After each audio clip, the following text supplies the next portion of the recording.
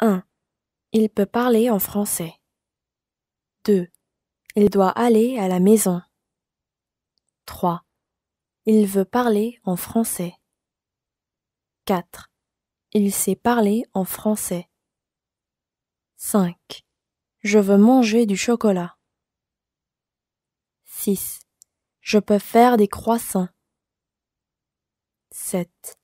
Tu dois faire les devoirs. 8. Tu sais parler en coréen. 9. Je veux aller à la plage.